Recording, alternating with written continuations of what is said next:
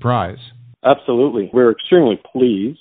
That site just seemed to consistently be delivering for us here. The drill results certainly went through the existing silver rich oxide zone. It intersected 83 meters, grading just about 400 grams per ton on a silver equivalent basis. So definitely a, a very nice wide intercept.